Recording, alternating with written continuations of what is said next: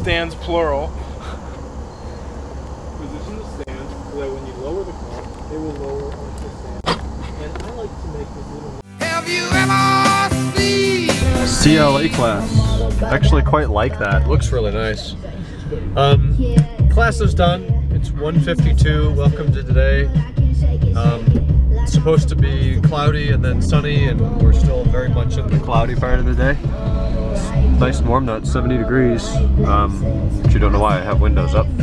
We got an E90 up there you can cross. It's probably kind of awkward. I'm filming you across the street. But yeah, talked with Joe for a little bit today, met up with Kenan for a minute. Um, I'm gonna go home now, and uh, that watch band showed up. I, I remember bitching about it, I think on Sunday night, and I got a notification early Monday morning that it had shipped three or four weeks after I bought it. Whatever. Um, that'll be there when I get home, I'll show you. Heat shielding. Is it busted?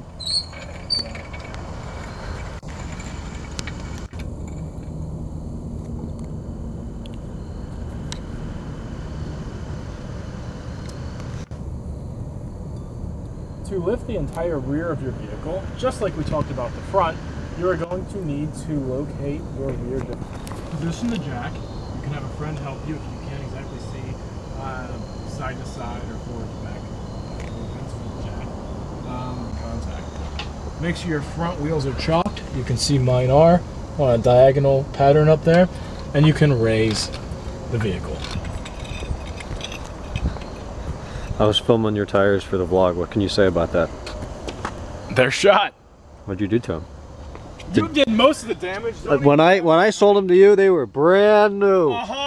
Not a uh-huh, mark sure. on 'em. Sure, don't listen to him. I He's never, a liar. I never used more than a tenth throttle. Oh no. But either Dickard. They're past secondary rubber. So much rust. Brake lines are in decent shape. Dude, there's no rust on the inside of the frame, like from the frame rails in. It's all the rocker panels. That's it. Thanks.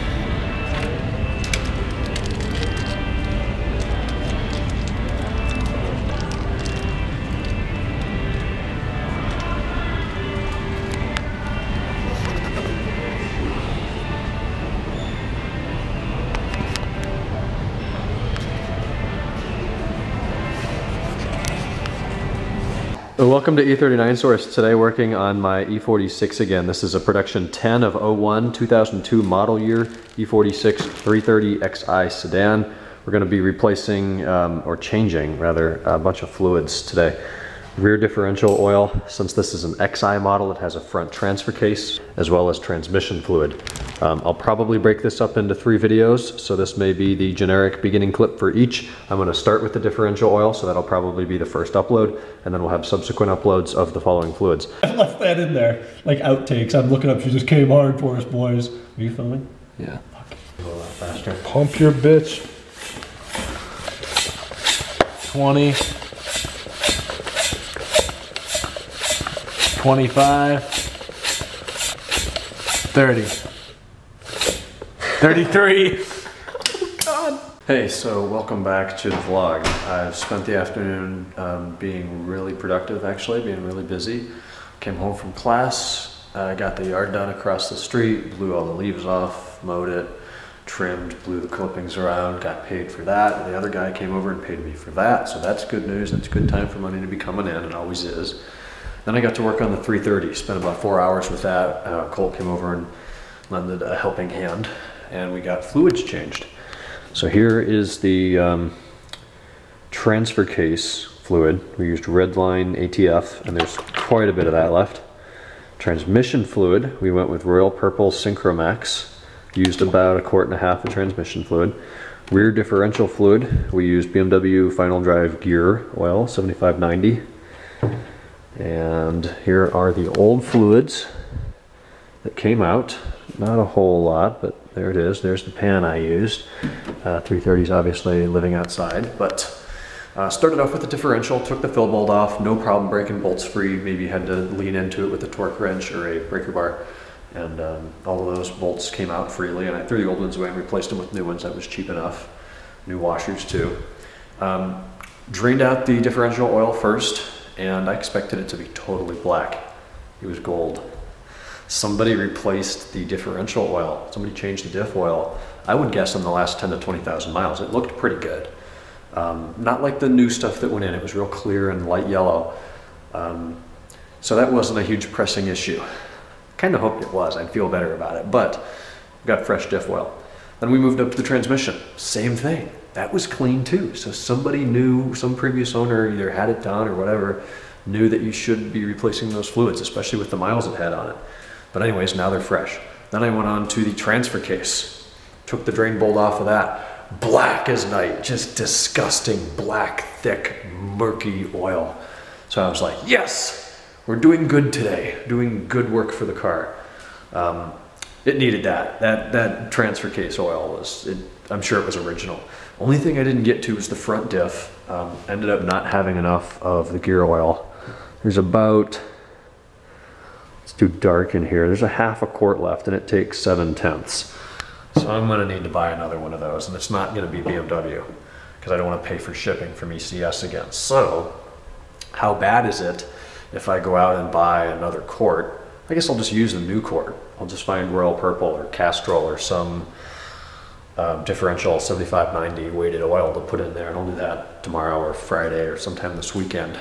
Um, and that's going to be more difficult because the fill bolt for that is up above the control arm and I'm going to have trouble getting in there. They're these female bolts. So I had to go over to Harbor Freight and spend $30 on a set because you can't buy just one. show you what they are. $30 for this set of these. See, they're male bolts and I needed a 14 mil. So I, thought I could take them back, but eh, I should have them on hand for doing this stuff, add it to the tool arsenal. So to figure that out later, but then we'll have all fresh fluids. And it'll be interesting to see if that was done because rear differential and transmission fluid, those are probably the more popular ones that people do. Front diff and transfer case, only applicable to XI models. Who knows who was doing that, what kind of budget and skill set and knowledge they had. But either way, it'll be so nice to have all new fluids in that. And I think I noticed driving it that the four-wheel drive system's a little smoother. Before, when you let the clutch out, you could feel it kind of clunk under the car and engage the front wheels. It, to me, it just felt like the front wheels were afterthought. And now it feels much more fluid, and I'm sure how it should feel. Maybe that's just me. Uh, but I got this thing from ECS Motive Products Power Fill. I didn't want to stand here with refrigerator hose and hold it up on a ladder with a funnel for a half hour and pour it in and watch it drip into the transmission. So I got this thing.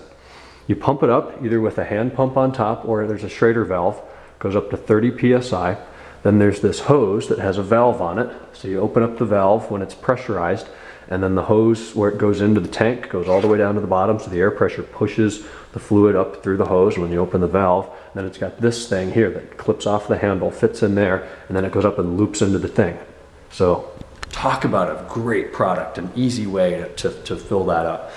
Um, only thing is if you need let's say it takes one quart and you have one quart and you pour one quart in there you're not going to get all of it out of there. It just doesn't work right. It gets stuck in the hose you get little bits in these bottom nubs in the tank. So if you're gonna fill a quart, you really need like one and a quarter to put in there. That's the only downside of that. So sometimes you might have to buy more than you think. Um, but I'm happy with that. And that will probably lead to me doing the M5 again with maybe a higher quality oil because I did it 15,000 miles ago. I don't know. Probably doesn't need to be done, but I'd feel better doing it. So anyways, that's my five minute diatribe on that. Tomorrow's Thursday. I have one class. I have another yard to do. I'm going to meet Joe. Alex wasn't able to make it over today to do the Life on Planet Earth coursework, so we're going to have to push that to tomorrow. It's going to be a very busy day uh, academically too. So I'm going to head up to bed, wrap things up tonight, and we will talk tomorrow. Something else. Somebody commented something. Oh, about the snow tires. Um, I didn't reply to you on YouTube. Sorry um, over 50 degrees, they'll wear faster. Yeah, that's what I'm worried about, and that's why I'll probably wait um, another month or several weeks, anyways. I have a rebate coming from Tire Rack. I would like to use that money um, to, to do the mounting and balancing, or at least that plus not too much of my own money. Um, So that's how that'll work. But yeah, thanks for the comment. Sorry I didn't reply in, in text, but maybe this is better. All right, good night, guys.